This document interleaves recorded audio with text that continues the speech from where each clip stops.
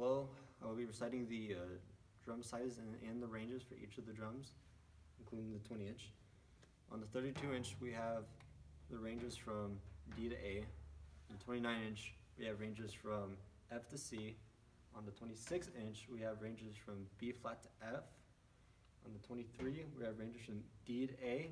On the 20 inch, that's not here right now, is from F to C.